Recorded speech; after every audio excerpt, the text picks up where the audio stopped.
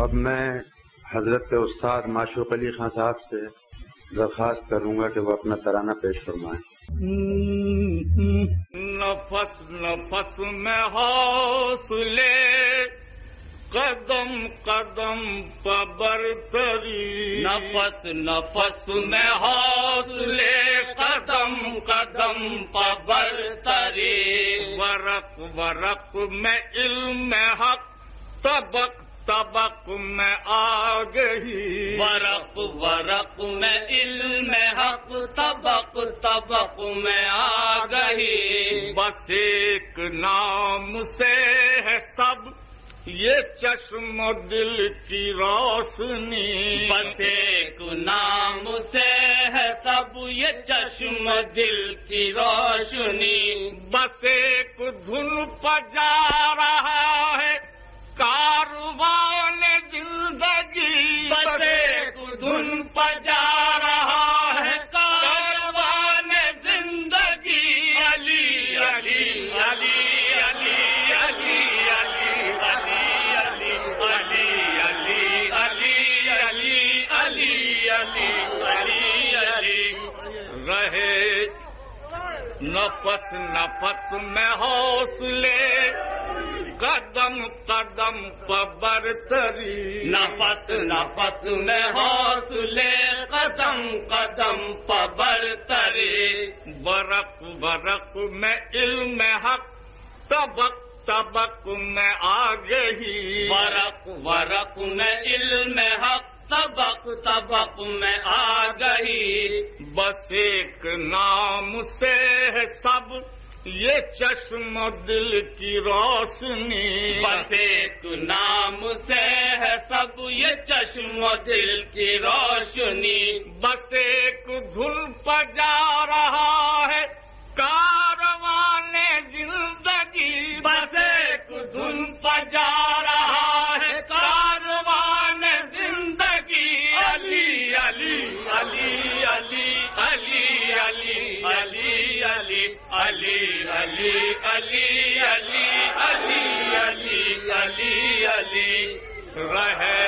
शब तो क्या खतर के जब में सहर भी है? रहे जो शब तो क्या कतर के जेब में सहर भी है घिरे हुए जो अब रूहों तो बर्क का गुजर भी है। गिरे हुए जो अब रूहों तो बर्फ़ का गुजर भी है। जमे हुए कदम भी हैं लड़ी हुई नज़र भी है। जमे हुए कदम भी है लड़ी हुई नज़र भी है। जहाँ कहीं है मरहबी है दरी जहाँ कहीं है मरहबी वही है दर्द है दरी अली अली अली अली अली अली अली अली अली अली अली अली अली अली अली अली एक फिक्र एक रब्त एक है यहाँ। तसलसल एक फ़िक्र एक रब्त एक है यहाँ। न हक में मुख्तलिफ़ न हक से मुख्तलिफ़ दिलो जबान। न हक में मुख्तलिफ़ न हक से मुख्तलिफ़ दिलो जबा हटा सका न हमको राह से जमा हो या मकान। हटा सका न हमको राह से जमा हो या मका अजल से ताबद यही है एक सोते सरमदी अजल से ताबद यही है एक सौते सरमदी अली अली अली अली अली अली अली अली अली अली अली अली अली अली अली अली दवाओं में इंतज़ाम है वहदत निज़ाम है। दवा में इंतज़ाम है कि वहदत निज़ाम है। यही है अदल जिससे फर्शो अर्श का कयाम है। यही है अदल जिससे फर्शो अर्श का कयाम है। कयाम अदल के लिए ज़रूरत इमाम है। कयाम उम्मत इमाम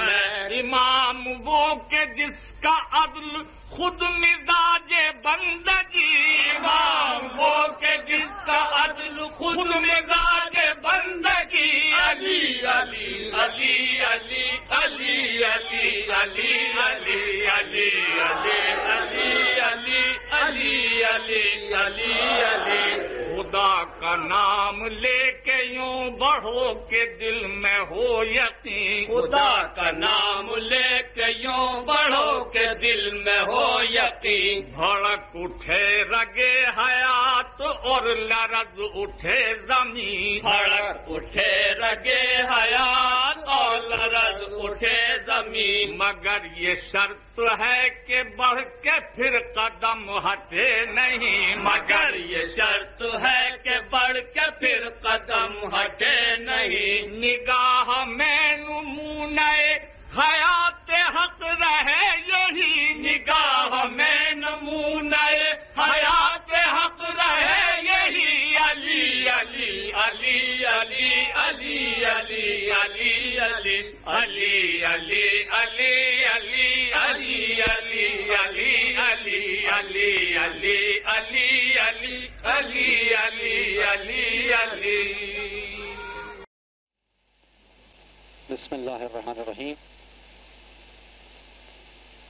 अलैक्म हजरात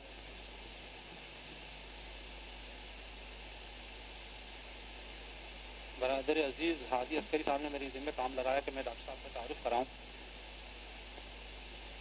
अब हिंदुस्तान के बारे में तो हजरात मैं जानता नहीं, मगर पाकिस्तान में हमारे यहाँ अल्फाज अपनी वक़्त खोते जा रहे हैं और अलकाबात बाजारी हो गए हैं। अब बड़ा मुश्किल काम है मेरे लिए कि मैं एक ऐसी जील शख्सियत का तारुफ कराऊँ। मगर मेरे सामने वो अहबाब तशरीफ़ रखते हैं कि जो मजलिसी हैं इस शहर के, अक्सर व बिश्तर। और उन्होंने यगान रोज़गार, ख़तीबों और उलमा और जाकिरीन को सुना है। मसन सरकार अल्लामा रशीद तुराबी मरहूम, मौलाना मोहम्मद बशीर, मौलाना साहिब देवबंदी, मौलाना जरसन जैदी और वो उलमा जाकरीन जो हिंदुस्तान से यहाँ तशरीफ़ लाते रहे। खुदा उन मरहूम नीन को आला लीन में शुमार करे। तो वो हजरात जिन्होंने पाबंदी से इन जाकिरीन की मजालिस सुनी है, वो इस बात की गवाही देंगे। कम अज़ कम मैं उन मजालिस में शरीक था जिनमें सरकार रशीद तुराबी मरहूम ने और मौलाना मोहम्मद बशीर फातह टैक्सला मरहूम ने। मकाम फ़ख्र में ये बात कही कि वो शागिद हैं सरकार हसन साहब मरहूम के। जो अपनी तर्ज के बानी खतीब थे बर सग़ीर तो सबसे बड़ा हवाला तो मेरे पास यही है, आपको मुतारफ़ कराने का, डॉक्टर वारिस हसन नकवी साहब को। मुख्तसन सिर्फ़ दो चार जुमलों में आपकी जहमत खत्म करूँ और हाजिर नहीं हूँ आपके और डॉक्टर साहब के दरमियान में। दूसरा जो एक हवाला है, जो इस वक्त, इस अहद में जो हमारे लिए अब माजत के साथ जहालत का फैलाव हमारे यहाँ उसमें तहरीरी हवाला तो ये डॉक्टर साहब, की रिसर्च वर्क है नहजुल बलागा पे। Analytical study of the Nahjul बलागा stylistic नहजुल बलागा गालिबा जो आपने बताया, क्योंकि इसमें दूसरे लिखा में जबान दिया स्टाइलिस्टिक नहजुल बलागा। दूसरे मुख्तलिफ़ मकामात पे जो आपने तकारीर की हैं, उसमें ख़ास पहलू जो हवाले के लिहाज से मैं आपसे बताना चाहता हूँ, वो ये मैंने अभी सुना कि लंदन में जो मजालिस का आगाज़ हुआ है, उन मजालिस का आगाज़ करने वाले और वहाँ अपनी खिताबत से नहजुल बलाग के सिलसिले में ख़ास तौर से, वहाँ के न सिर्फ़ शीयों को बल्कि मुसलमानों को और बल्कि गैर मुस्लिमों को मुतारफ़ कराया आपने वहाँ पर नहजुल बलागा से। और जो मानदाना एक रवैया था हमारी किताबों के बारे में और ख़ास तौर से बलागा के बारे में आपने उसका दिफा किया और इस तरीके से तारुफ कराया कि हम लोग वहाँ समझने के लिए, पढ़ने के लिए। उसके अलावा डॉक्टर साहब के जो मुख्तलिफ़ यहाँ पे ज़िंदगी के गोशे, या आप प्रिंसिपल रहे मदरसतवाजीन के हैं, बल्कि अभी तक, और लेक्चरार रहे मदीनतुल अकेडमी, अलीगढ़ के, और प्रिंसिपल रहे मदरसतुलवाजीन के दोबारा उसके अलावा डॉक्टर साहब की मुख्तलिफ़ और मकामात पे खदमात हैं दीनी जिसमें तफसील में इस वक्त मैं आपके सामने नहीं जा सकता। सिर्फ़ एक या दो किताबों का मैं हवाला देना चाहता हूँ क्योंकि वो इसी कलाम के ज़िम्न आ रही हैं और जो शायद आपके लिए दिलचस्पी का बास हो। The intellectual heritage of Islamic jurisprudence ये ऐसे दकीक मौजूद हैं कि जिन पर हमारे यहाँ वाक़ अहद का तकाजा है, मगर अफसोस के हमारे यहाँ अब लिखने वाले भी। न रहे, कम होते जा रहे हैं। और जो हैं, उनके लिए हम और आप दुआगो हैं कि परवरदिगार उन्हें पूरे उम्र दे और सेहत और सलामती दे अच्छा और द इंस्टीट्यूशन ऑफ़ सुनना। Some aspects of the events of Karbala. The prerogative of speaking on the name of God justice and equality background of नेचुर बलागा word on the commemoratics on Najur Balaga, commentaries on Najur Balaga, a question of approach and attitude, worship not hardship, the stylistic analysis of वगैरह वगैरह तो बहरहाल ये ऐसी किताबें हैं और ये ऐसे मौजूद हैं कि जिस पे हमारे यहाँ कम बोलने वाले हजरात रह गए हैं कम लिखने वाले हजरात रह गए हैं और मैं मजीद हाजिर नहीं हूँ मैं डॉक्टर साहब से दरख्वास्त करूँगा कि अपने यहाँ से मुस्तफ़ हो रहे हैं हमारे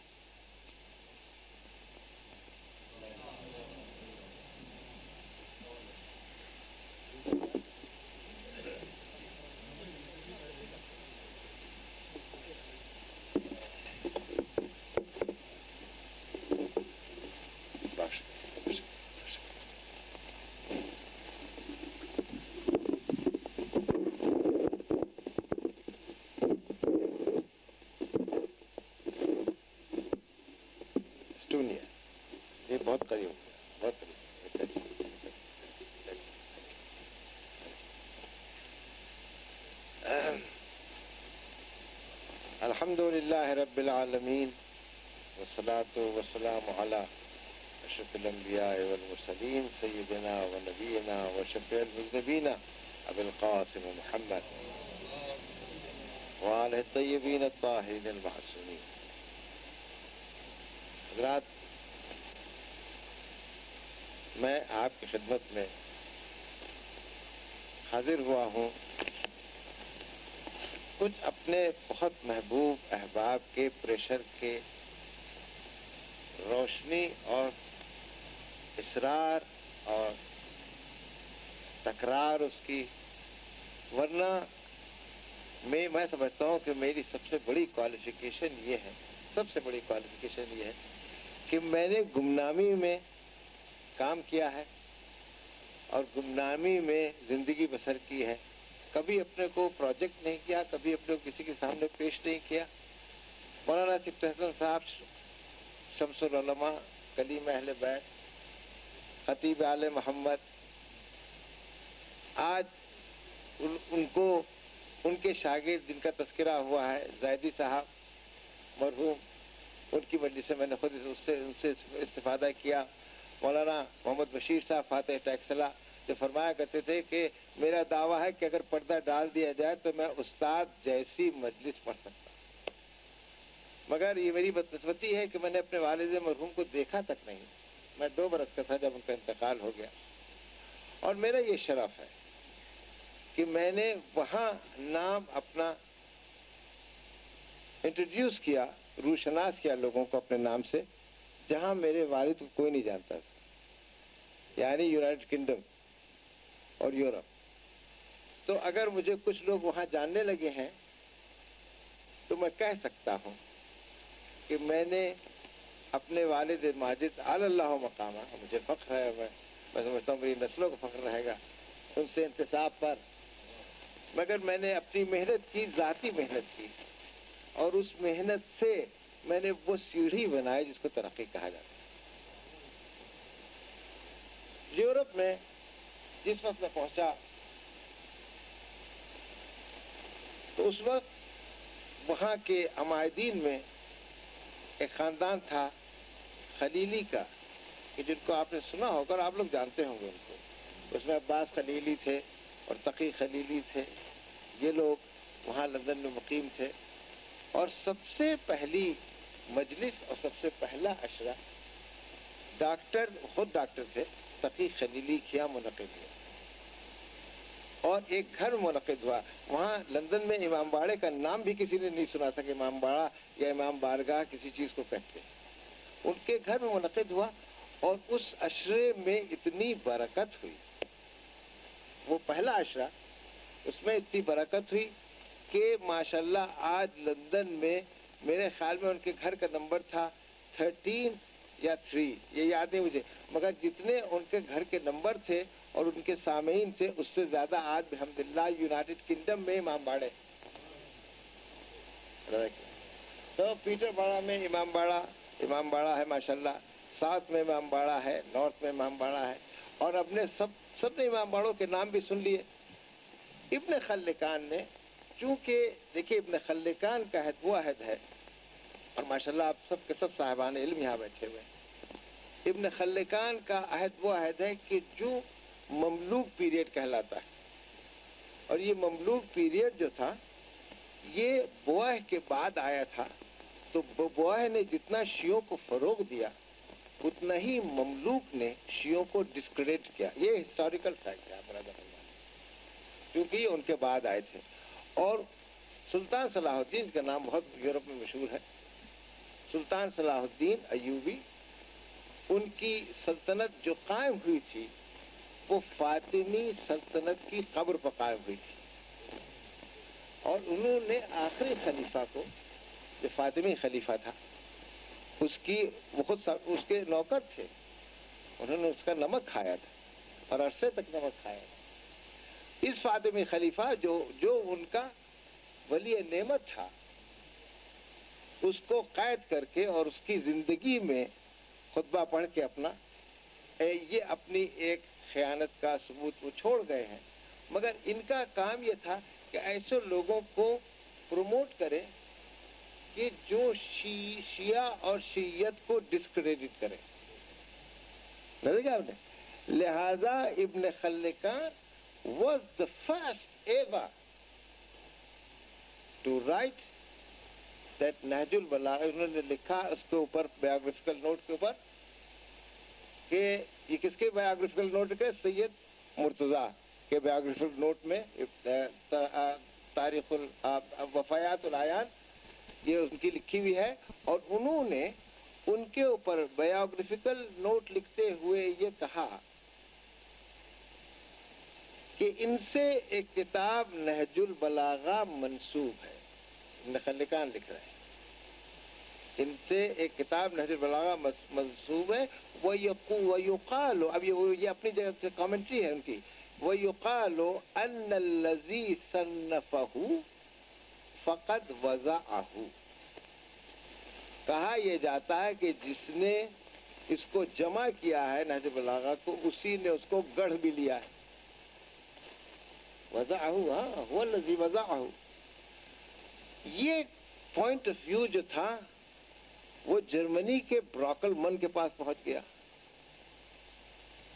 और उन्होंने अपनी हिस्ट्री में इसको नकल कर दिया और ब्रॉकलमन ने जिसको इंडोर्स कर दिया इस व्यू को तो लीजिए पूरे यूरोप में फैल फैल गया कि नज़र जो है, इससे टोटल फोर्जरी अब वो जो दाग लग अच्छा यहाँ हमारी तरफ़ से कोई शख्स पहुँचा नहीं था कि वो उसको साबित करता। साबित करता कि नहीं, ये फोर्जरी नहीं है। देखिए, हमारे यहाँ जहाँ तक के नज़र बलागा, मैंने कहा कि मैं पैंतीस मिनट लूँगा लोगों से, ज़्यादा वक्त लूँगा। मैंने जो अर्ज़ किया कि नहजुल बलागा जो है, वहाँ का व्यू जो है यूरोप का उस वक्त, जिस वक्त मैं पहुँचा हूँ 1957 की बात मैं अर्ज़ कर रहा हूँ आपसे। 1957 में यूरोप का व्यू ये था कि नहजुल बलागा इज़ ए टोटल फोर्जरी और वो ब्रॉकलमन का हवाला देते थे। ब्रॉकलमन खुद बेकसूर था। वो खुद बेकसूर था, इसलिए उसको ये इस्लामी कैंप से मिला था। ये व्यू और वो था इब्न खल्लिकान का, इब्न खल्लिकान। तो मैंने जो थीसिस लिखी तो मेरे सबको एक सुपरवाइजर मिलता है, मेरे ऊपर दो सुपरवाइजर मुन किए गए एक है वर्ल्ड रिनाउंड सुपरवाइजर उनका नाम है डॉक्टर मानगुमरी वॉट आप जानते होंगे उनको, उनकी किताबें भी बहुत मशहूर हैं। एक है मोहम्मद इन इन मक्का और एक मोहम्मद इन मदीना, ये हमारे उस्ताद, हमारे सुपरवाइजर की किताबें हैं। साहब कलम है, बहुत अच्छा दिमाग है और मैं यकीनन वो इस वक्त नहीं है मेरे सामने, मगर मैं उनकी बहुत वक़्त और मेरी इज़्ज़त, उनकी इज़्ज़त मेरे दिल में है। इसलिए कि जो जो उन्होंने इतराज़ात किए मुझ पर और मेरी, मेरे मकालों पर, वो बहुत ही रिलेवेंट थे और उसको मुझे जहमत करना पड़ी उसके जवाब देने में। तो उसकी नज़र, वो साहब नज़र था वो शख्स। अगर वो ज़िंदा है मुझे नहीं मालूम है ज़िंदा भी तो वो साहब नज़र हैं साहब नज़र हैं। उस जो, यूरोपियन कैंप है उसमें वो साहब नज़र है मानकुमरी वार्ड। तो ये मानकुमरी वार्ड और डॉक्टर ईएन हावर्ड ये दो मुझ पर सुपरवाइजर रखे गए। अब आप मेरी मुश्किल को मुलाजा फरमाए कि दो सुपरवाइजर बजाय एक के। और ये दोनों के पास मैं अपने जो है वो चैप्टर्स लिख के ले जाता था। और वो मेरे चैप्टर्स को देखते थे। और खुदा शायद मैं ये कभी ये सीन कभी ज़िंदगी में नहीं भूलूँगा जब तक मैं ज़िंदा हूँ। ये कि mister Hasan you have written very nicely it's good very good piece of writing but this is not the material we want और ये कहें कि इतना बड़ा क्रास हर पेज पर बन जाता था जो रेड होता था।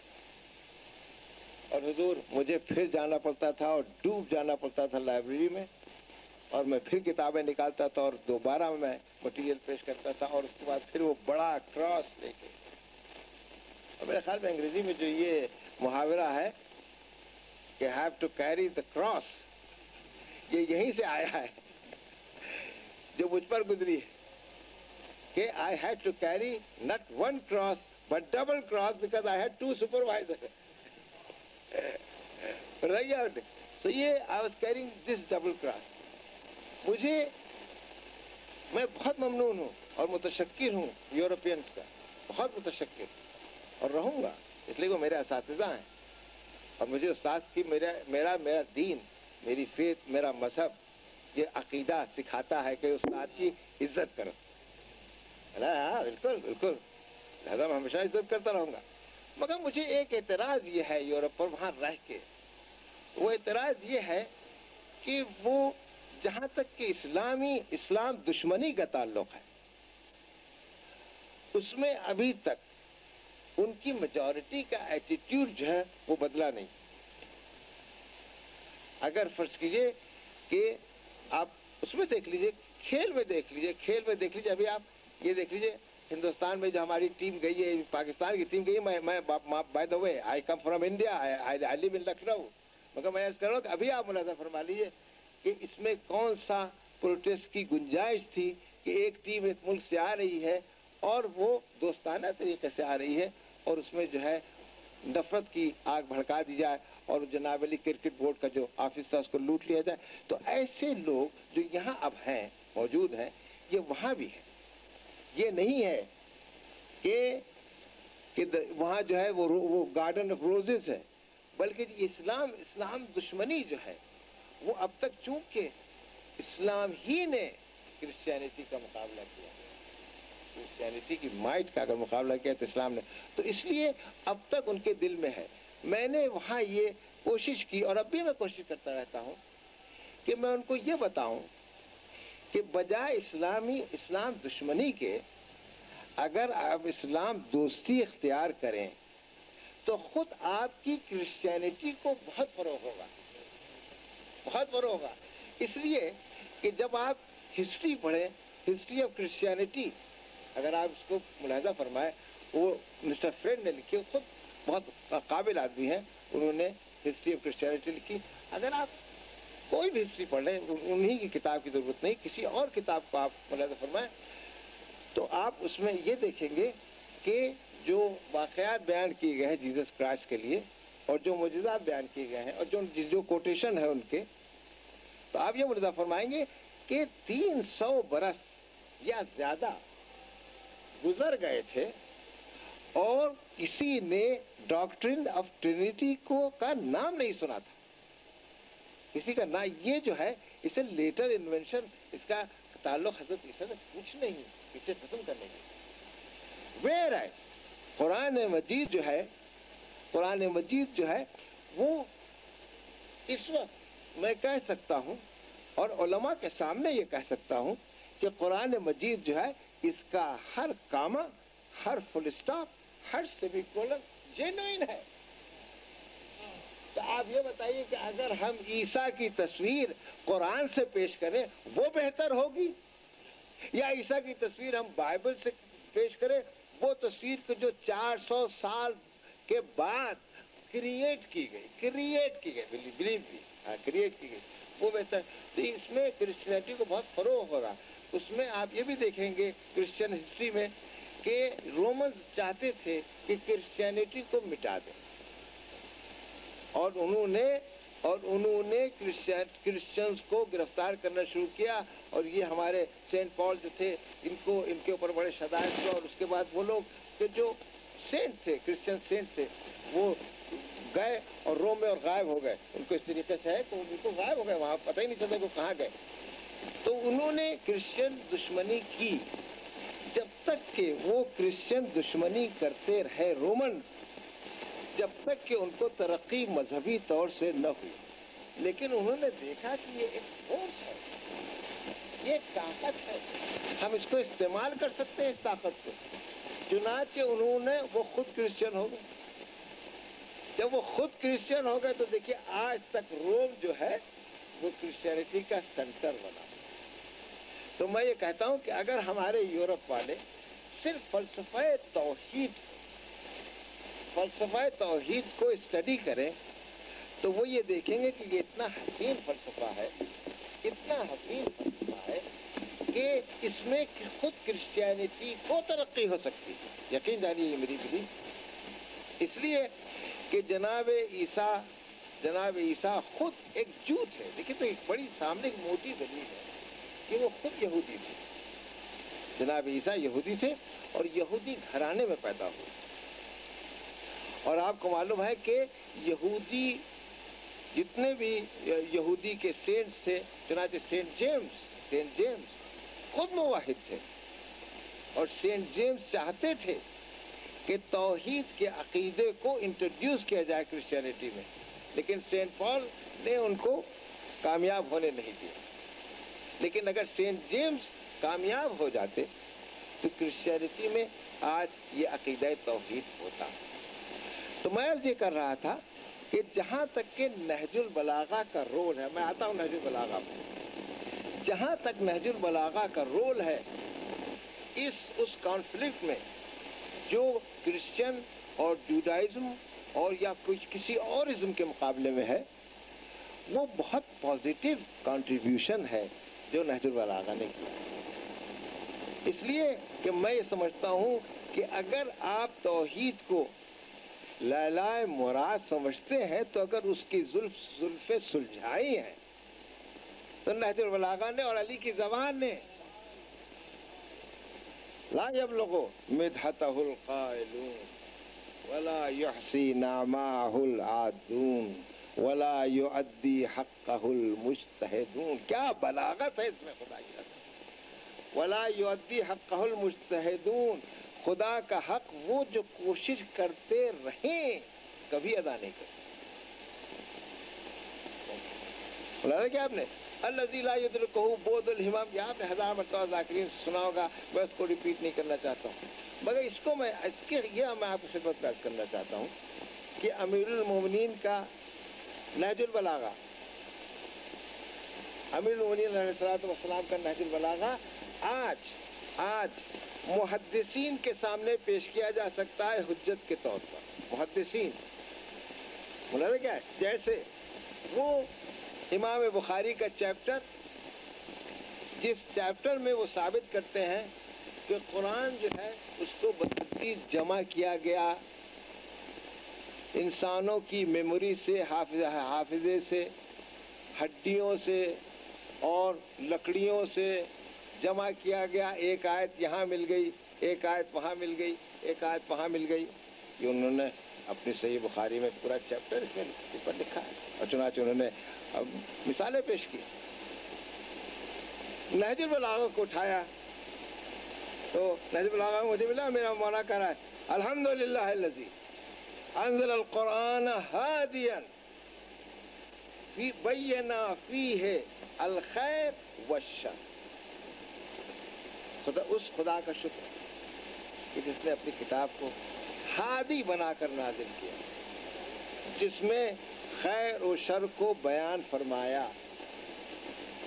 यहाँ पर यह नहीं कहा गया है कि वो जो फुला साहब की मेमोरी में महफूज है, वो है खैर, और वो कि जो फुला साहब की मेमोरी में महफूज है, वो है शर।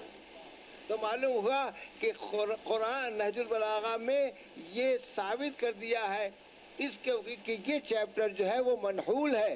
कभी इसमें इख्तलाफ हुआ ही नहीं कि कुरान था। इसीलिए तो फरमाया कि इन्नी तारिकुन फ़ी कुमुसकलैन अगर कोई किताब ना होती तो हज़रत ये ना फरमाते।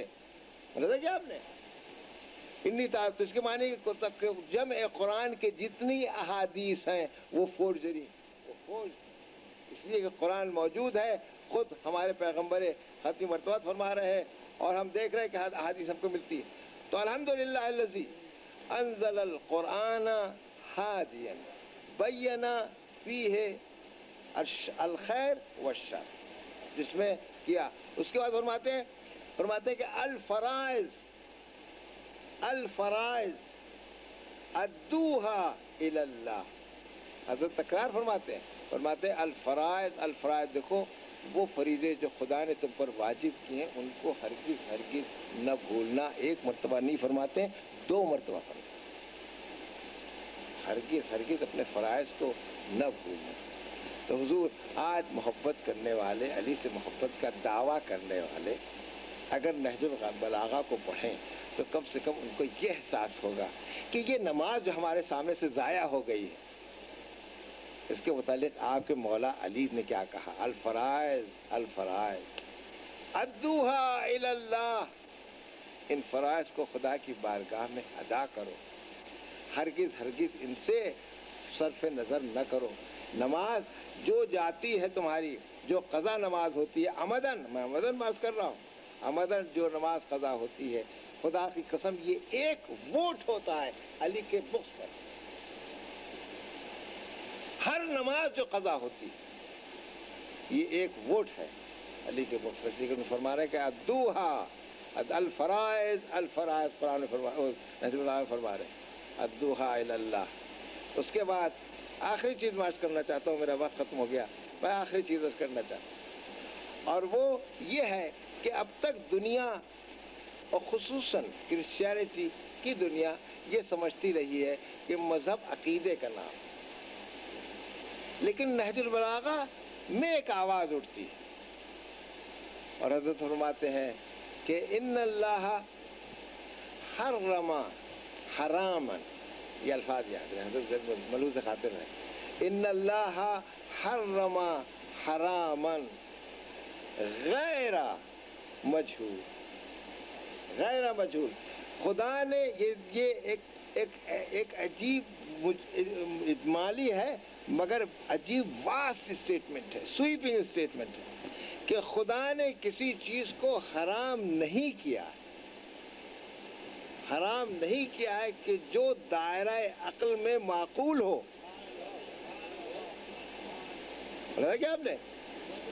इन अल्लाह हरमा हरामन, गैरा गैरा, ये ये हज़रत ने इस पर ज़ोर दिया है कि कोई चीज़ ऐसी नहीं है कि खुदा ने हराम की हो और वो हदूद अक़ल में मुनासिब समझ में आती हो, जो चीज़ हराम की है, उसको अक़ल भी हराम करती है। ये पहला इमाम है जिसने ये कहा है कि देखो, अकल को, अकल भी तुम्हारा हादी है, उसी तरह जिस तरह कुरान है।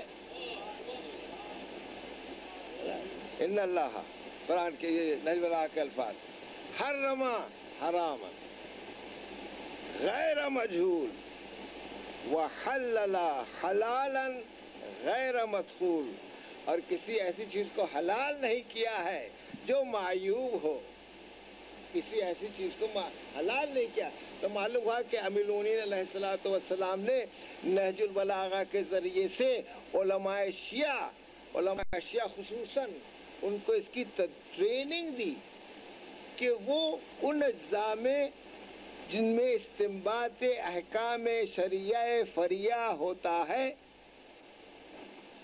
आप शरिया इस्तेमाल करते हैं। उन मदारिक में अब तक, जब तक कि नहजुल बलागा महारज वजूद में नहीं आया था या इमाम की तालीमत नहीं जानी गई थी, उस वक़्त आप तारीफ़ में मुलाजा फरमाएँ कि सिर्फ़ तीन उनसर थे।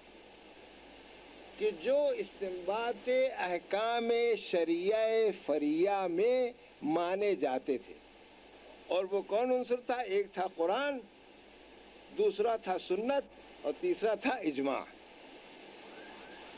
लेकिन नहजुल बलागा की तालीमत के फ़रोग पाने के बाद और उनकी कामन नॉलेज होने के बाद चौथा असल जो है, हमारे फ़ुकाहा ने इन तीन असलों में मुलहक कर दी। अगर आप किसी मसला शरी का इस्तेमाल करना चाहें तो आपको इन असलों की तरफ़ देखना होगा और रुजू करना पड़ेगा। पहले कुरान की तरफ़ रुजू करना पड़ेगा, दूसरे सुन्नत की सुन्नत रसूल की तरफ़ रुजू करना पड़ेगा, और तीसरे इजमा की तरफ़। लेकिन यहाँ, हमारे यहाँ नहजुलबलागा के तसदुक में एक असल इंट्रोड्यूस की गई और चौथी असल वो है, जिसका नाम है अक्ल।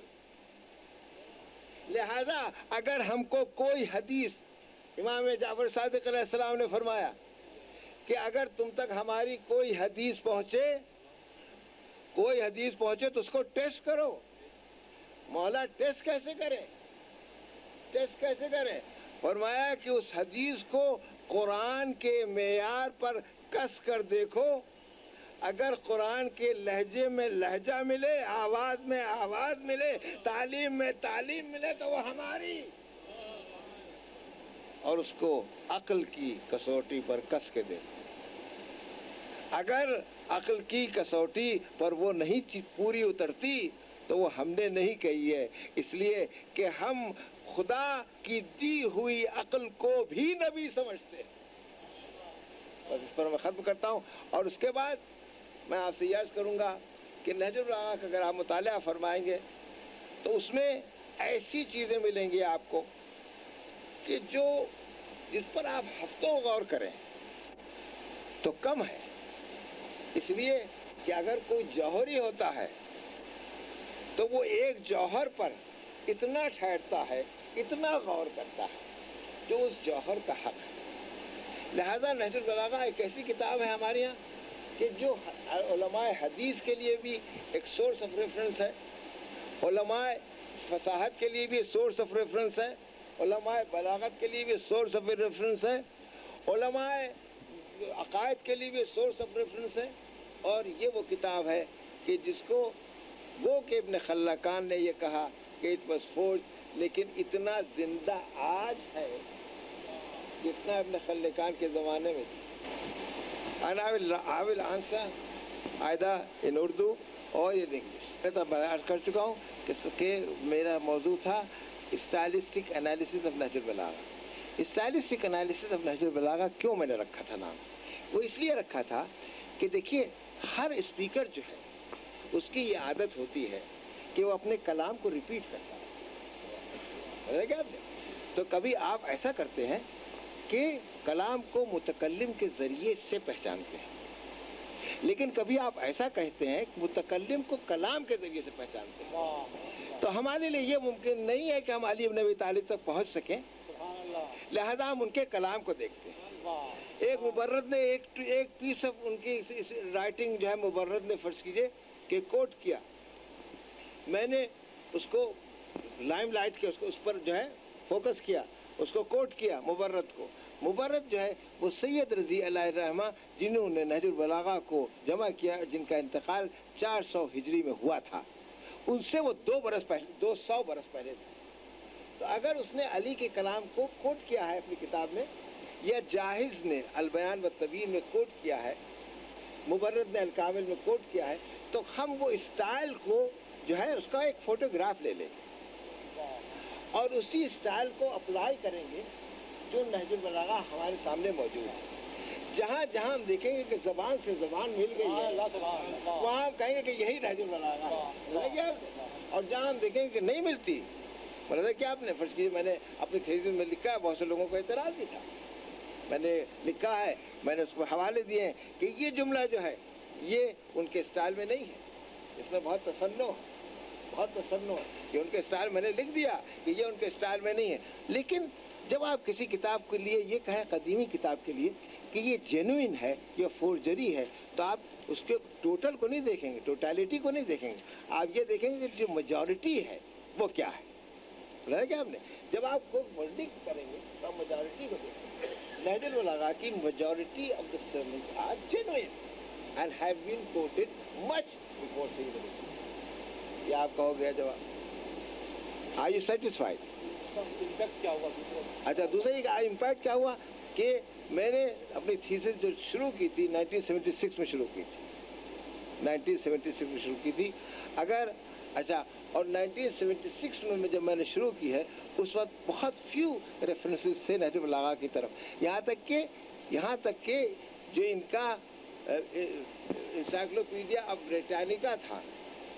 वो नहजु बलागा के ज़िक्र से खाली मगर अब जो है अगर आप अब देखेंगे तो आप ये देखेंगे 1976 के बाद क्या हुआ। अगर आपको एंट्री मिल गई तो आप मेरा मेरे कम से कम मुझे याद कीजिए। 1976 के बाद। पहली बात तो यह है कि उसमें आपने डिफ्रेंशिएट किया कि ये नहजुल बलागा नहीं। जी हाँ मैंने किया मैंने किया मैंने लिखा कोट है किया। हाँ मैंने कोट किया कि ये जो ये जो फिक्रा है इसमें इतना तसन्नो है जो हज़रत के कलाम में नहीं नहीं पाएगा। उसको अलग किया उसको अलग किया। इसीलिए तो एनालिसिस है वो। दूसरा सवाल ये है कि अमीर मोमिन का वो कलाम हाँ। जो नहजुल बलागा में नहीं है। हाँ हाँ हाँ वो भी वो भी है बेशक। ये मैंने एक किताब लिखी है नैजुल हिकमा। और जमा की। आपने जमा की है और इसमें आपने इसमें आपने मैं, मैं, मैं, आपने वो अखबार जमा किए हैं कि जो नज़र लागा में नहीं है। हाँ जी हाँ। आपने? आपने मुलायदा की नहीं मैंने नहीं देखी मैंने नहीं आप देखें। मैं बहुत शुक्रिया। आप हदिया। बहुत शुक्रिया बहुत शुक्रिया। सल्लल्लाहु अलैहि बहुत बहुत शुक्रिया आपका। मैं ज़रूर देखूँगा बहुत इंटरेस्टिंग से देखूँगा। जी जी। तो जिल्दें हैं हाँ। जी जी जी। जो मैंने इसमें दाखिल कर दिया अच्छा बहुत अच्छा किया। और इसी तरह पंद्रह जिल्दों में एक खुतबा मिला। सही है सही जमा किया सही इस तरह से ये इस तरीके से जमा हो गया है। और ये बेशक एक हज़ार। सुबह ये पाँच सौ सुबह दूसरा हिस्सा जो है जी जी। जो में नहीं जी जी जी। वो मैं किताबत करा बहुत मुफीद। वो जी जी जी। जी Uh, हाँ। uh, Furman. since uh, your thesis is based on stylistics, जी जी। और वहाँ पर अब जो वेंसबरो के बाद से हुसन ये दावा किया जा रहा है कि कुरान हकीम मुहावरे कुरैश में नहीं है। और ख़ुद उसकी क़दामत के ऊपर स्टाइलिस्टिक्स हमले हो रहे हैं। तो इस मसले में आपकी जो थीसिस है वो कहाँ तक गैप फिल करती है? चूँकि कंटेम्प्रेनियस दोनों हैं। जी जी। तो इस सिलसिले में आप क्या हमारी हिदायत करते हैं? मैं आपसे ये अर्ज़ करता हूँ कि इस सिलसिले में जो इस वक्त पहले उन्होंने, देखिए, मैंने अर्ज़ किया अभी आपसे कि इस्लाम दुश्मनी जो है, वो बिल्कुल आम है। यूरोप में बहुत आम है। पहले उन्होंने नहजुल बलागा पर गेज किया, मुस्लिम फीलिंग को टेस्ट किया कि क्या होता है। उन्होंने देखा सब खैरियत है। सब खैरियत है। कहीं से कोई डिस्टर्बेंस की तिला नहीं आई उनके पास। तो उन्होंने कहा, आप कुरान को ले लो। बता क्या आपने? बगैर मैंने मैंने इसको, इस चीज़ को बहुत दूर से देख लिया था कि ये आने वाला। और मैं समझता हूँ कि आप हजरात को भी ये याद रखना चाहिए कि कुरान मजीद फ़कत एक किताब ऐसी है। कुरान मजीद कि जिस, जो किताब मिन वन और बेनसही और बेनफसही किताब ऐसी कि जिसमें उम्मत मुस्लिमा गो के बहत्तर टुकड़ों में बटी, लेकिन कुरान के मुतालिक कोई इख्तलाफ नहीं। आपने? लिहाजा ये इतना बड़ा कांटा और शहतीर है जो यूरोपियंस की आँख में खटकता है। आपने? कि ये कुरान क्या कह रहा है? कुरान कह रहा है कि इनको तुम फ़ी बे फ़ी रहे बिन मीमा नजलना अला अब्दना। फातू बेसूरतिन मिन मिसले। अगर तुम्हें शुबा है, तुम्हें शुबा है, शक है, डाउट है कि ये मोहम्मद ने गढ़ लिया है इस किताब को, फातू बेसूरतिन मिन मिसले। हुजूर 114 सूरे हैं हैं? 114 कुरान कहता है कि एक सौ एक सौ चौदह में से एक सूरा बना लो शहदा कुम बिंदून तुम सादकिन। और यही नहीं कि ये should work on your own नहीं भाई तुम बहुत कमज़ोर हो। तुम बहुत कमज़ोर हो तुम नहीं कर पाओगे। वत शहदा कुम अपने हाली मवाली को लेकर कोशिश करो। बोला क्या हमने? तो इसका जवाब जो है नहीं दिया जा सका कुरान का। तो उन्होंने कहा कि तो सही कि हम इसकी ऑथेंटिसिटी जो है उसमें शक पैदा करें। उन्होंने कहा, साहब, कुरान में दो स्टाइल है, बजाय एक स्टाइल के। आप ये कहिए कि आप जनाब, जो तीन सतरें अरबी की नहीं लिख सकते, आपको क्या तमीज क्या आप समझे? आप उससे पूछिए कि जो अहले जबान है, अहले जबान है, जिनकी मादरी जबान अरबी है, उन उनसे पूछिए, आप कुफार मक्का से पूछिए जिन्होंने मोहम्मद की टूथ और नेल मुखालिफत की, कोई दकीका उन्होंने उठा ना रखा। कोई दकीका उन्होंने उठा ना रखा, लेकिन उनके पास कुरान का जवाब नहीं मिला उनको। वरना आप ये मुलाजा कीजिए कि तेईस बरस तक कुरान जो है नाजिल होता रहा। तेईस बरस तक। इसे लॉन्ग टाइम। तेईस बरस में अगर एक बच्चा पैदा हो है तो वो यूनिवर्सिटी चला जाए ना? है तेईस बरस तो काफ़ी है ना कि वो एक ग्रेजुएट हो, एक डिग्री ले ले। कुरान जारी रहा तेईस बरस तक। और वहाँ ये दावा, इस दावे के साथ कि अगर तुम्हें शुबा है तो एक ऐसा बना लाओ सूरा। तो ये बताइए कि कुफार कुरैश ने एक ऐसा ग्रुप लड़कों का क्यों नहीं तैयार किया कि जो जाए और अरबी पढ़े और कुरान का जवाब लिखे? तेईस बरस। Which is a long time is a long time तेईस बरस। तो वो जब जवाब न दे सके तो वारिस हसन जो है, वो खड़े होते हैं कहते हैं कि साहब, मैं तो ये मेरा ये इतराज है और मेरा ये इतराज है, मेरा ये अरे साहब, आपकी तो जबान ही नहीं है। है? आप तो यही नहीं समझ सकते कि ये और करबा में फ़र्क क्या हो गया। है? जब ये ना समझ सकते हैं आप तो आप कुरान पर कैसे इतराज कर सकते हैं? आज तक यकीन जानिए। आज तक मैंने किसी को नहीं देखा। मैंने उर्दू दा को देखा है जो गैर मुस्लिम थे मगर वो उर्दू लखनऊ वालों की तरह बोलते थे या फिर कराची वालों की तरह बोलते थे। लेकिन मैंने आज तक किसी अंग्रेज़ को नहीं देखा या किसी नॉन नॉन मुस्लिम को नहीं देखा कि वो अरबी फसाद बलागा से बोलता हो। अभी आज तक नहीं देखा। आप, आपको मालूम है किसी को याद है आपको? नहीं? सन्नाटा है। सन्नाटा है इसमें।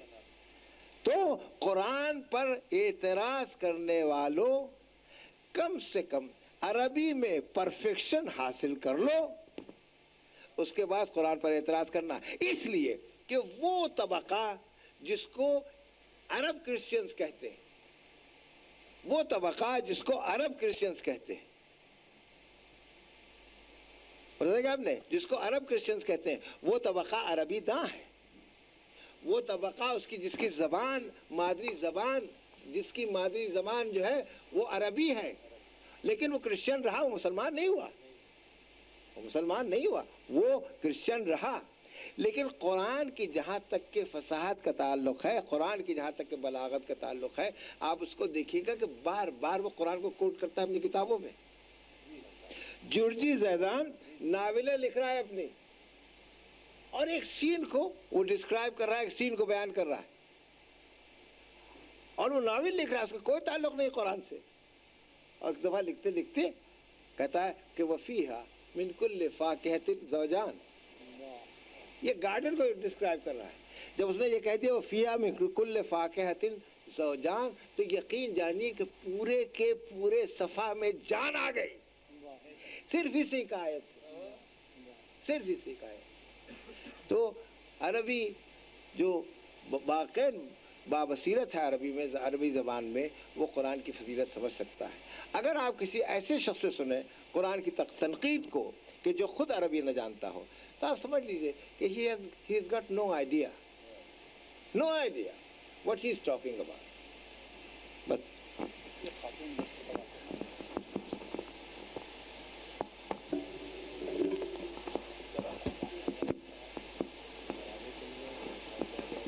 मौलाना, आपसे एक बड़ा अजीब सा सवाल करना चाह रही हूँ। I am married to a Sunni और नहजुल बलागा के बारे में मैं आपसे कुछ नहीं पूछूँगी, लेकिन मुझे ये बताइए कि क्या मौला अली का कोई ऐसा मुआवजा हो सकता है कि मैं अपने शोहर को नहजुल बलागा पढ़ने की तरफ़ रागब कर सकूँ? क्योंकि वो इस चीज़ को नहीं मानते और कहते हैं कि हर मज़हब अपने को बेहतरीन साबित करने के लिए अपनी किताबें लिखता है। तो मेरी बड़ी ही ख्वाहिश है कि वो नहजुल बलागा पढ़ें और कुछ उनकी जो है जहनी बसीरत वो बढ़े तो उनको किस तरीके से मैं रागब करूँ इस तरफ़? और औरत को नाकसुलकल माना जाता है, इसलिए शायद मैंने ऐसा सवाल किया आपसे। और हमारी सोसाइटी में औरत कमज़ोर तरीन हस्ती है। तो मैं किस तरह से ये एक हिकायत है कि एक शख्स आप एक एक हिकायत है कि एक शख्स ईरान में एक अत्तार के पास गया कि आगा मैं मन कचर हंसता मैं गंजा हूँ मैं। कोई तुम्हारे गंजेपन की दवा है तुम्हारे पास? तो हिकायत में यह है कि अत्तार कुलाहश वर्दाश्त वही शगो वो खुद भी गंजा होगा। अगर मुझे ऐसी दुआ कोई मालूम होती कि मैं पर्सनालिटी को कन्वर्ट कर सकूँ, या उस शख्स को जो शक करता है, यकीन करने वाले में बना दूँ तो मैं आपको मालूम नहीं मैं कितना इस्तेमाल कर चुका था उस दुआ को। मगर मैं, मुझे बहुत अफसोस है कि मुझे नहीं मालूम। लेकिन अगर वो इल्म दोस्त है, अगर इल्म दोस्त है, और और अगर वो जब कोई चीज़ देखते हैं तो उसको अप्रिशिएट करते हैं तो मेरे ख्याल में आप इसका नजरलागा में मंतखबात नजरलागा किताब है उसका आप उनकी खिदमत में पेश करें और वो मंतखबात जो है वो उनको नज़र नजरलागा कन्वर्ट बना देंगे बना देंगे और इन उनके ऊपर असर होगा इसका जीती रहिए जीती रहिए हाँ। इसमें डॉक्टर साहब एक ज़िमनी सवाल मैं खातूनी की तरफ़ से पेश करूँ क्या कोई ऐसी किताब है हाँ। कि जिसमें इतने मुस्तंद हवाले मौजूद हों फ़रीक़ैन के या मुख्तलिफ़ फ़रीक़ों के या मुख्तलिफ़ मौरख के कि जो हम आम एक वो नहजो बलागा नहीं जो आप बाज़ार में अवेलेबल हो तो सभी देख रहे हैं उसको मगर इतने मुस्तंद हवाले उसके अंदर हों कि हम किसी भी शख्स को देंगे तो वो हवाले देख के सोचने पर मजबूर हो जाए कि हाँ वाक़ ये किताब जो है ये इतनी गैर मुतनाज़ नहीं है इतनी मुतनाज़ नहीं है जितनी कि समझी जा रही समझी जाती है बेशक बेशक मेरे ख्याल में ऐसी किताब एक मौजूद है। एक उन्होंने ख़तीब अहमद ख़तीब ने लिखी है वो किताब। जिसका नाम है मदारिक नहजुलबलागा उसमें उन्होंने हर खुतबे के बाद उसके मदारिक को तहरीर फरमाया ये किताब चार जल्दों में छपी है और इराक से छपी है। आप उसको हासिल कर सकते हैं सिर्फ़ ये कि वो अरबी में। और मेरे ख्याल में आप हजरात में जो है कोई ना कोई इस काबिल होगा कि वो अरबी से उर्दू में तर्जमा कर दे और ये बेहतरीन तशरीफ़ होगी इसका आप तर्जमा कीजिए और यहाँ कराची में छापिए। मेरा एक सवाल है आपसे। जी। आ, बहुत ही अदब के साथ कि आपने किस चैरिटी आपने फरमाया कि क्रिश्चियन वर्ल्ड जो है वो मुसलमानों पे तनकीद करती है और ये जो कॉन्फ्लिक्ट है कोई नई बात तो नहीं है। हाँ, तो इस इसलिए भी नई बात नहीं है कि मुसलमानों के पास कोई रोल मॉडल नहीं है। ना तो स्टेट की सूरत में रोल मॉडल है ना तो पर्सनैलिटी की सूरत में भी नहीं है। इमाम खुमैनी एक बहुत बड़े रोल मॉडल की हैसियत से उभरे थे लेकिन यह है कि सारी गैर शीयत का पैसा जो है उनके खिलाफ इस्तेमाल हुआ और उनके रोल मॉडल को इनकलाब की सूरत में उसको भी ख़त्म करने की कोशिश की गई। मेरा आपसे सवाल ये है कि आपने जब स्टाइलिस्ट पर पर ज़ोर देते हुए नजल बलागा पर आपने थीसिस लिखी है, मैं ये पूछना चाहता हूँ कि आपने उसका क्या कंक्लूजन ड्रॉ किया? मतलब एक तरफ़ तो आपने उसके स्टाइल पे गुफ्तु फरमाई है और अभी आपने बड़ी बसीरत अफसोस तकरीर भी की है उसके बाद पहलुओं पर। मैं ये चाहता हूँ कि आपका ओवरऑल कंक्लूजन क्या है उस थीसिस का? मेरा कंक्लूजन ये है, मेरा कंक्लूजन ये है कि आप मुझे चाहे शिया समझें और चाहे सुन्नी समझें। मेरा फर्म कंक्लूजन ये है कि नजुल बलागा की majority of the sermons are genuine ये मेरा फर्म कंक्लूजन है मैंने तहकीक़ें की हैं जो उसकी मेजॉरिटी है। लेकिन बहरहाल उसमें ऐसे भी है चीज़ें कि जो हज़रत के कलाम से बिल्कुल ही एलियन है। और वो आप आप एक निगाह में पहचान सकते हैं कि ये हज़रत का कलाम नहीं है। अच्छा सईद रज़ी की कमज़ोरी है। हम ये, उसका एतराफ़ करते हैं, मैं यहाँ एतराफ़ करता हूँ। मैंने आपसे अर्ज़ किया कि चाहे मुझे सुन्नी समझिए या शिया समझिए कि सईद रज़ी रहमा की कमज़ोरी है और वो कमज़ोरी है कि अपने जमा करने के शौक़ में वो इतने अपने को खो देते हैं सईद रज़ी। हाँ जी हाँ कि वो जो भी सामने आता है और वो अली की तरह मंसूब किया जाता है, वो लिख लेते हैं अपने। यहाँ और जो उन्होंने नहजुल बलागा छोड़ी, वो बहुत बहुत जवान मर गए। उन्होंने जो नहजुल बलागा छोड़ी वो इतनी नातमाम है कि आप ये देख लीजिए कि एक खुतबा है उसका ये एक जुज तो इस यहाँ पर है और एक जुज आपको दस खुतबों के बाद मिलेगा। तो इसके मानी है कि उन्होंने उनको इतनी फुर्सत न मिली कि कम से कम वो उसको तरतीब दे लेते तरतीब दे लेते बोला क्या आपने। जमाने में तकरीबन चार सौ मौलानी में दो से लेकर चार सौ जो थे वो मौजूद थे। सब जानते थे कि मसला ये कभी नहीं रहा कि मौला अली की जो नजीब बलागा है वो जेन्यून है कि नहीं है? ये तो कभी मैं नहीं ये मसला भी रहा है ये मसला यही तो मसला है। आज तक ये मसला मौजूद है। इस वक्त यूरोप में यही मसला है। मेरा जुमला मुकम्मल। यहाँ मैं मुकम्मल आपसे कर रहा हूँ कि अल्लामा रजवी के ज़माने में चार सौ मकतूब मौला अली के दो से लेकर चार सौ सर्कुलेट कर रहे थे। सब जानते थे कि ये मौला अली के कुछ बात हैं या उनके लीडर्स हैं। मैं तो आपसे ये कर रहा कत कर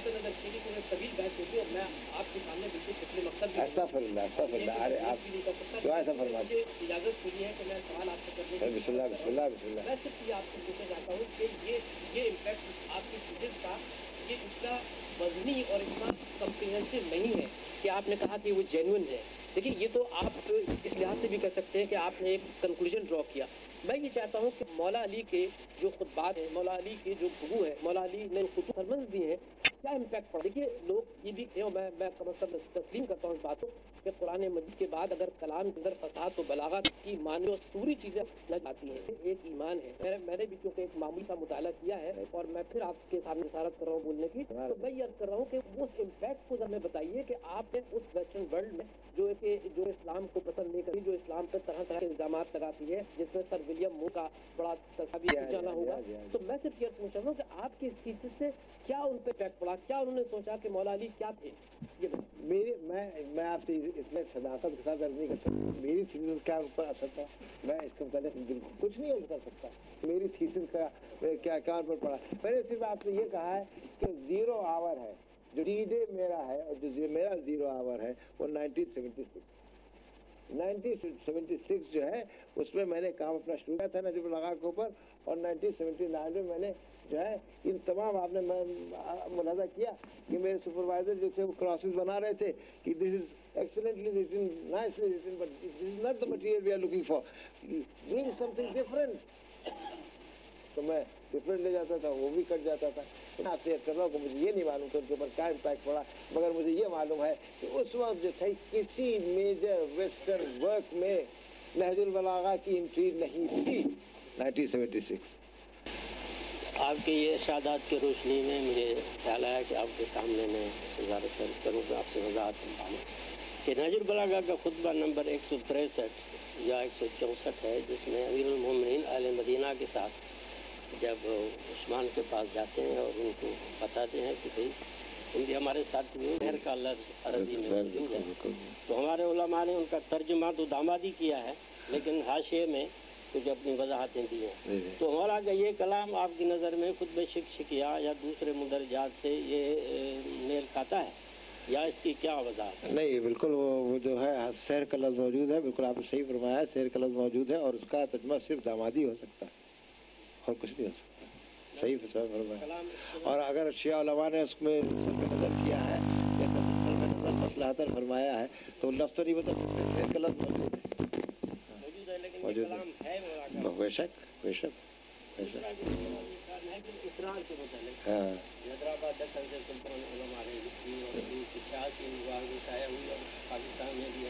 आगे सही तो वो वो कलाम है जो का नज़र बलागा में नहीं है, लेकिन बतौर उनके बलागा कलाम है। मेरी नज़र में वो नहीं गुजरी है और ना मैंने ये किताब पढ़ी थी ये बहुत ही मुझे इस्तेफादा हुआ इस इस मजलिस में आपका आपका मेहरबानी से। आ, मगर ये है कि नज़र बलागा जो है remember that Nahjul Balagha is not a comprehensive collection of Ali से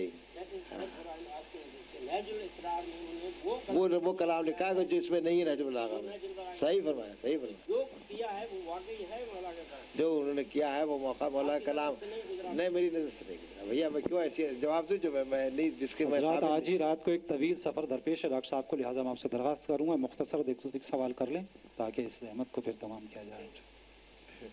आपको दें आपको मतलब मैं आगा साहब ने जो सवाल किया था उसी ज़मीन में ज़रा सा आगे बढ़ाना चाहता हूँ। मेरे ख्याल में वो बात वाजे नहीं और बड़ी अहम थी। वो ये था कि जहाँ तक कि जेन्युइननेस का सवाल है वो तो ज़ाहिर है आपके थीसिस ने साब, इसको साबित करने की कोशिश की और मैं समझता हूँ कि काफ़ी हद तक वो साबित हो गई। लेकिन जहाँ तक ये मस जो सवाल मेरे ख्याल में किया गया था वो ये था कि नहजुल बलागा के ये साबित होने के बाद कि मौला अली का कलाम है उस कलाम की जो असर पजीरी होनी चाहिए या उसका जो इम्पैक्ट आना चाहिए जिस तरह कुरान का एक इम्पैक्ट है सही इस कलाम का एक इम्पैक्ट है गैर मुस्लिम पे या गैर शिया पे उसके बारे में आपका क्या तजिया है कि वो इम्पैक्ट आया और आया तो किस फॉर्म में आया? जी। ये जरा सा एक अगर वजाहत आप फरमा दें। जी जी। नहज का इम्पैक्ट जो है वो उम्मत मुस्लिमा पर बहुत ही गहरा होना चाहिए था, लेकिन उसका ऐसा नहीं हुआ। इस वजह से कि नहजुल बलागा जो है, इसको डिस्कवर किया गया है, इस सेंचुरी में, जिस सेंचुरी में हम और आप सांस ले रहे हैं। इसको डिस्कवर किया गया और सबसे पहला जो शख्स था, जिसने जो नहजुल बलागा को लाइव लाइट में जो जिम्मेदार है, वो एक मिस्री है, जिसका नाम है शेख मोहम्मद अब्दो। शेख मोहम्मद अब्दो से पहले नज़र बलागा जो थी, वो लाइम लाइट में नहीं आई थी और न कभी किसी ने तवज्जो दिलाई। उम्मत मुस्लिमा मुतशक्र है इस मिस्री इंटेलेक्चुअल के, कि जिसने दुनिया की तवज्जो नज़र बलागा की तरफ़ मोड़ी। वरना ये मौजूद थी नज़र बलागा, किताबों में मौजूद थी कुतुब खान में मौजूद थी और कोई उसे न जानता था। यहाँ तक कि आप शिया की तसानीफ में भी देखें तो आपको ये मिलेगा कि बहुत कम नज़र बलागा की तरफ़ रेफरेंसेस दिए गए हैं नाम के साथ। बल्कि कलाम के साथ रेफरेंसेस आपको बहुत मिलेंगे बहुत मिलेंगे। इस्तिफसार में भी और और उसूल काफ़ी में भी हज़रत के अल्फाज मिलेंगे और उन तमाम रुआत के नाम मिलेंगे।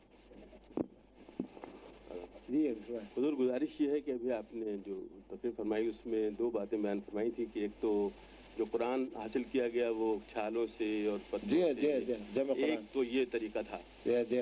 और वही शायद कुरान आज हमारे हाथों में है जिस तरह से हासिल किया। ऐसा नहीं। अच्छा। नंबर टू ये कि एक अमीर मोमिनीन ने तैयार किया। तो वो दोनों कुरान एक ही थे या कुछ फ़र्क था? पहली बात।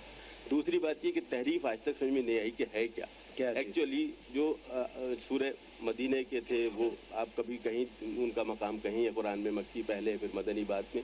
और इसी तरह से आयतों में भी जो आयतें आखिर में आना थी वो कहीं और रखी हुई हैं जिनका कोई रब्त नहीं है कोई वास्ता नहीं है। पूरा जुमला मुकम्मल है बाकी बेरब्त है पूरा। तो उस सिलसिले में क्या फरमाएँगे? मतलब ये मैं जहाँ तक के तहरीफ कुरान का ताल्लुक़ है, मैं समझता हूँ कि मैं ये दावा कर सकता हूँ कि मुसलमानों में तहरीफ कुरान के मुतालिक इजमा है इस बात पर कि देर इज़ नो तहरीफ। नहीं नहीं नहीं देर इज़ नो तहरीफ। ये एक मूवमेंट था कि जो ईरान में शुरू किया गया और जिसमें जिस वक्त के तुर्की और ईरान में लड़ाई हो रही थी, उस वक्त कोशिश की गई कि एक दूसरा कुरान शियों का कुरान अलग साबित किया जाए, सुन्नियों का कुरान अलग साबित किया जाए। ये एक पॉलिटिकल मूवमेंट था, एक पॉलिटिकल वेपन था कि जो इस्तेमाल किया गया था। और और शिया शी किताब चुराच अब्दुल अज़ीज़ दहलवी जो है, वो मुहदस दहलवी तहरी कहते हैं कि शियों का ये एतक़ाद है कि ये कुरान जो है, ये मुहर्रफ है।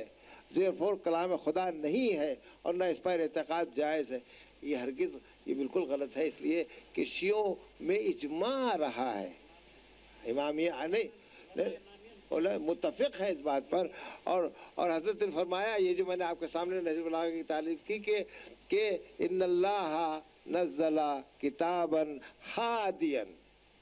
खुदा ने अपनी किताब को हादी बनाकर नाजिल किया। बैना फ़ीहिल खैर व शर, वो किताब के जिसमें खैर भी बयान किया है खुदा आलम ने, और शर को भी बयान किया है खुदा आलम ने। तो अगर ये हम लोग ये मानते होते कि मुहर्रफ है कुरान तो ये दहजलागा में ये जुमला आता ही नहीं, और न सैद रज़ी इसको नकल करते।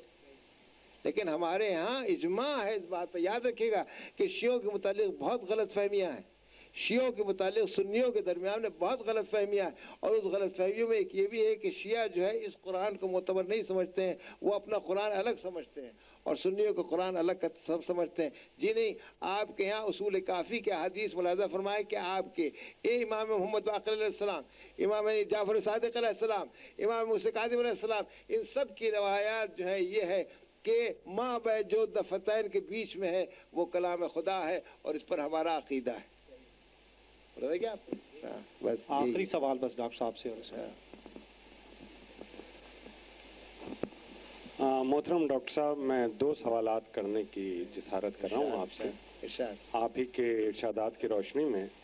पहला सवाल तो ये है मेरा कि जो आपने अपनी थीसिस तहरीर की है उसमें आपने क्या इल्मुल हदीस को जिस तरह से जांचा जाता है बाईसलूम के ज़रिए कि ये ज़यीफ़ है या कमज़ोर है या सच है या गलत है तो क्या आपने कोई ऐसे असूल जवाब बनाए थे जिससे ये पता चल सके कि ये मौलाए कायनात का कौल है या नहीं?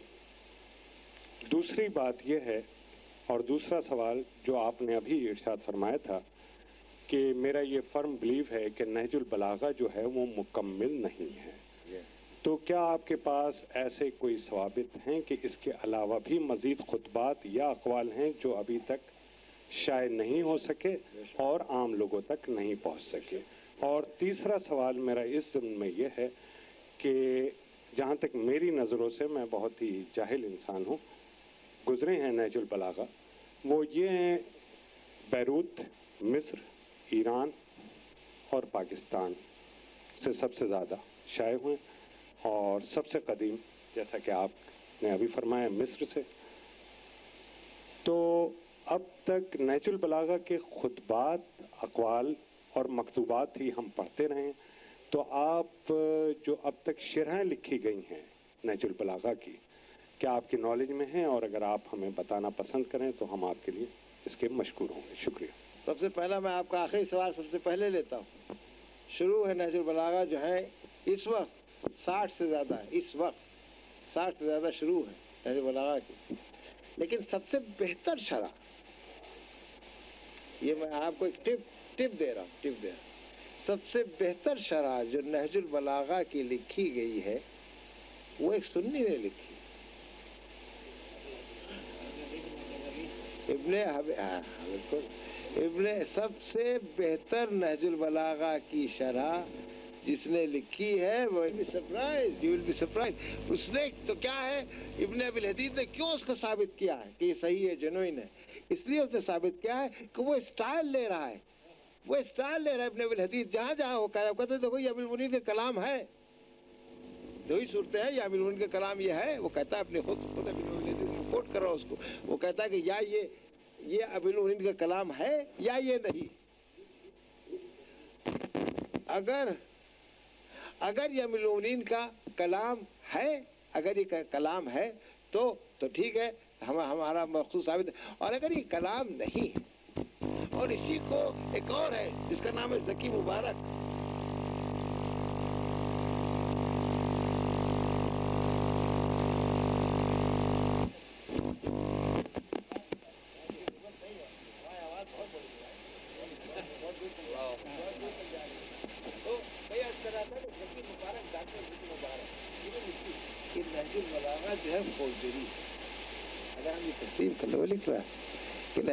फोर्जरी तो इसके मानी ये है कि शियों से ज़्यादा फन नसर में परोज लिखने में कोई उम्मत इस्लामिया की कोई फर्द कामिल तरीन न थी सिवाशियों के।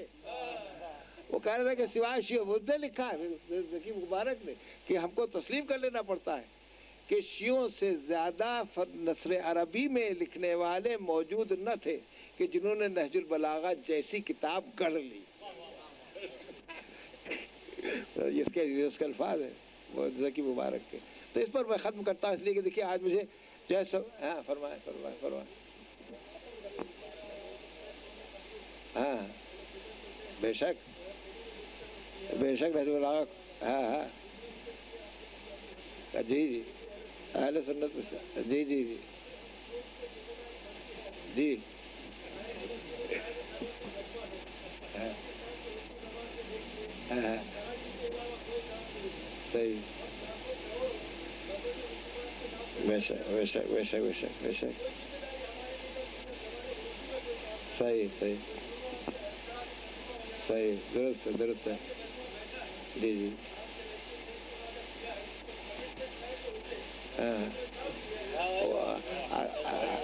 अगर आपने कमिटमेंट का सवाल किया तो फिर आइंदा ऐसा मजबा नहीं होगा। हजरात में फारसी में तर्जमा और तकरी उस्ताद तकी जाफरी की है अभी इंतकाल हुआ है अभी आगे इंतकाल हुआ है कबीर ज़िंदगी अच्छा अच्छा अच्छा अच्छा। और और कोई कमेंट किसी कोई और काम हुआ है नज़र लागा पर यहाँ पाकिस्तान में? यहाँ तो तराजी में हुए हैं बस। तराजी में हुए दो तराजी में हाँ, ओरिजिनल काम नहीं हुआ हैं। अच्छा। जी एक बहुत मुख्तसर सा रिसाला है वो जहाँ जहाँ- जहाँ काम किया जाए। बिल्कुल सही।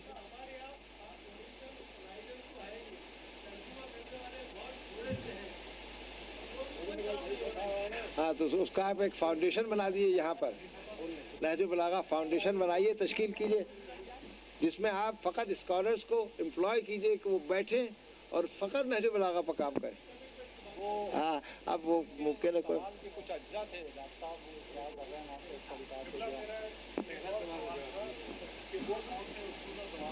हाँ ये सवाल जरा है हाँ।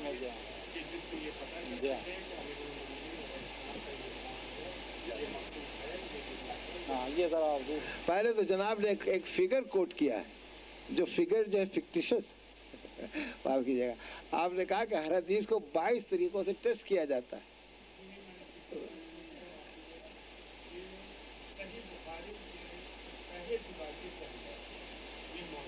क्या क्या? वो कौन है? वो ठीक है, नहीं नहीं वो आप अब जमख्शरी को कोट कर रहे हैं आप। जमख्शरी ने ये कहा कि इल्म तफसीर के जानने के लिए बायसलूम का जानना ज़रूरी है। ये लेकिन हदीस में हदीस में सिर्फ़ आपको इल्म हदीस के जानने के लिए जो है, इन इल्मों के उलूम की ज़रूरत है। मैं कोई बहुत काबिल आदमी नहीं हूँ, मैं मामूली चीज़ें मुझे आती हैं। और वो इल्म हदीस के जानने के लिए यह है कि उसको इल्म रिजाल में महारत हो। एक, नंबर एक, उसको जबान में महार हो। अरबी जानता अगर अरबी नहीं जानेगा तो फिर हदीस का तर्जमा कैसे करेगा? इल्म रिजाल एक इल्म जो है वो जबान लिसान अरब दो और तीसरी चीज़ जो है कि उसको जो है तारीख है इस्लामी से वाकफियत हो। इसलिए कि बहुत से रावी ऐसे हैं कि जिनका इंतकाल हो गया सौ बरस पहले और उनके लिए कहा जाता है कि उन्होंने फुला से फुला सुना फुला ने फुला सुना। अरे भाई फुला ने फुला से कैसे सुना जबकि वो साठ बरस पहले मर चुके थे? ये तारीख से आता है। हाँ। बोला क्या हमने बहुत सी रवायतें ऐसे अच्छा और उसके बाद जो है, इल्म, जो हदीस है, वो सही सही मौसक हसन और इस पर चार हदीसें, चार किस्में हदीसों की हैं। और गरीब गरीब। ये ये चार हदीसें हैं, जिस पर हदीसों की अकसाम ख़त्म हो जाते हैं। लेकिन अगर आप यूँ जाना, जानना चाहें तो हर में एक वेरिएशन है, वो निकल आएगा। अब अगर आप उसको किस्म करना चाहते हैं वरना हदीस की इतनी इतनी इतनी किस्में नहीं जितनी जैसे आपने फरमाया बा, बा, बाईस किस्में हदीस की माहिर होने के बाद फिर ये मालूम होता है कि कौन सी हदीस सही है कौन सी हदीस जो है ज़यीफ़ है कौन सी हदीस जो है हसन है हसन है और कौन सी हदीस जो है वो गोया के वो है नाकिस है या ज़यीफ़ है। तो ये ये सब चीज़ें जो है वो या नहीं होती और क्या? अब हुजूर ये तो माजरत था, ये भी अब वक्त जी हाँ ऐसा हो रहा है मैंने अर्ज़ किया आपसे कि हाँ भाई। हो है?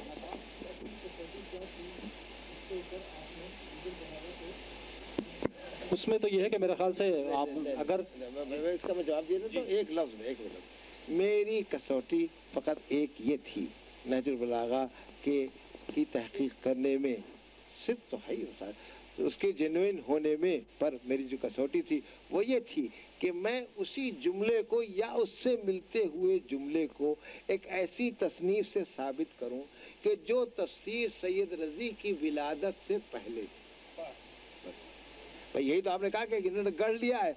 तो गढ़ने वाले की विलादत से पहले अगर हमको मिल जाए तो वो जेनुइन होगी कि नहीं होगी, ये है मेरा मेयार और ये है मेरा टच स्टोन इसलिए मैंने टेस्ट किया। बस। और हुजूर, अब शुक्रिया अदा करना है। सिर्फ़ एक आखिरी सवाल आया है वहाँ से ख़वातीन से तो मैं उसको पेश करता हूँ आपके लिए कि एक औरत को अमीर अमीरमिन की निगाह में बहवाल नहजुल बलागा कैसा होना चाहिए? मुख्तसरन अगर आप कुछ अर्ज़ कर लें ये किसी मौलवी की तरफ़ से सवाल आया। ये खातून की तरफ़ से आया घर वाले का है सवाल। खातून ने पूछा बेहतर। तो औरत को जहाँ तक के औरत का सवाल है वो नहजुल बलागा में औरत के लिए यही है कि ये नवाकसूल हैं इनके अकल कम है और ये ये नहीं नहीं है? खाना खाना है अभी खबर मुझे मालूम है। इसीलिए तो बहुत ही आपने देखा मैं जवाब देने आपने देखा मैं जवाब देने में कितना तरद कर रहा था। इसलिए हाँ तो इसमें ये है कि उनको ये जो हज़रत ने फरमाया कि वो नवाकसूल हैं वो इस वजह से फरमाया कि नवाकसूल है। मेरा ये ख्याल है कि इसका रेफरेंस जो है वो जमल की तरफ़। पूरे खुतबे का रेफरेंस जो है पूरे खुतबे का रेफरेंस जो है वो जमल की तरफ़ पूरे अब आप अब आपको मैंने ये आइडिया दे दिया अब आप जाके घर पर खुतबा पढ़िए तो देखिए कि हर लफ्ज जो है वो उधरी मुड़ रही है और बसरे की तरफ़ जा रही है। तो इसलिए कि ज़ाहिर है ज़ाहिर अगर हम आपसे कहें कि नवाकसूल कैसे है वो आप यही कहिएगा कि देखो इमाम जो है जब उसकी बैत कर ली जब उसकी इजमा यानी जिन जिन तुरुक से खिलाफत अव्वल साबित थी खिलाफत सानी साबित थी खिलाफत सालिसा साबित थी उन तमाम तुरुक से अली की खिलाफत साबित थी। है ना? तो ये नक्श अकल नहीं है कि आप खलीफा वक्त के खिलाफ तलवार उठाएँ तलवार उठाएँ और उसके बाद ये कि आप उससे लड़े। लेकिन लेकिन ये उनका नक्श अकल था कि वो अब्दुल्ला इब्न जुबैर जो था उसने अपने बाप के साथ भी नाइंसाफ़ी की और उसको भी बहकाया उसको भी गुमराह किया और जुबैर को और उसने अपने जो है खाला जो है सगी सगी खाला थी तो सगी खाला को भी बहकाया। वरना अगर अब्दुल्ला इब्न जुबैर ना होता तो गालिबन ये इकदाम न करती। अब्दुल्ला सुनिए ये, ये वाक़ है। अब्दुल्ला इब्न उमर जा रहे हैं। अब्दुल्ला इब्न उमर जा रहे सुनिए मुलाजा कीजिएगा। अब्दुल्ला इब्न उमर जा रहे हज़रत आशा ने कहा क्या इनको पुकारो। ये बिल्कुल मैं आपसे बिन वार बयान कर रहा हूँ अब्दुल्ला इब्न उमर जा रहे हैं और हज़रत अमुलमोनिन आशा ने देखा, कहा, जरा सही अब्दुल्ला इब्न उमर को पुकारो। खैर, वो लाए गए अब्दुल्ला इब्न उमर, उनके पास। कहिए, किसके लिए आपने जहमत दी? उन्होंने कहा कि, ये बताओ कि जब मैं जमल जंग जमल में जा रही थी, ये साहबी ने लिखा इसको, जब मैं जंग जमल में जा रही थी तो तुमने मुझे रोक क्यों नहीं लिया? ये उम्मुल मोमिनीन कह रही हैं इससे अब्दुल्ला अपने उमर से, कि तुमने मुझे क्यों नहीं रोक लिया जब मैं जंग जबल के लिए निकल रही? तो उन्होंने कहा कि मुझे मालूम था कि आपके ऊपर एक ऐसा शख्स गालिब है, यानी अब्दुल्ला अपने जुबैर। ऐसा शख्स गालिब है कि मैं जो भी कहूँगा आप आप उसकी सुनवाई नहीं करेंगे। लिहाजा, वो आपने किया जो आपको नहीं करना चाहिए था। तो उन्होंने उनको गवाह करके कहा कि मैं इस अफसोस को ज़िंदगी भर करूँगी कि मैं क्यों निकली घर से। जिस घर में मुझे रसूल बिठा के गए अब ये आप हजरात का शुक्रिया अदा करना है सबसे पहले मैं। डॉक्टर साहब का शुक्रिया अदा कर दूँ। शुक्रिया अदा करते हुए एक रुबाई पोश कर दूँ। जोश साहब की इसरार के दर खोल रहे हैं खामोश। चूँकि मौजू ऐसा है कि वो ख़त्म न होने वाला है इसरार के दर खोल रहे हैं खामोश। हिकमत के गोहर रोल रहे हैं खामोश। है पैके महल शनास जबरील अमी इस वक्त अली बोल रहे हैं। तो हजूर बोलते रहे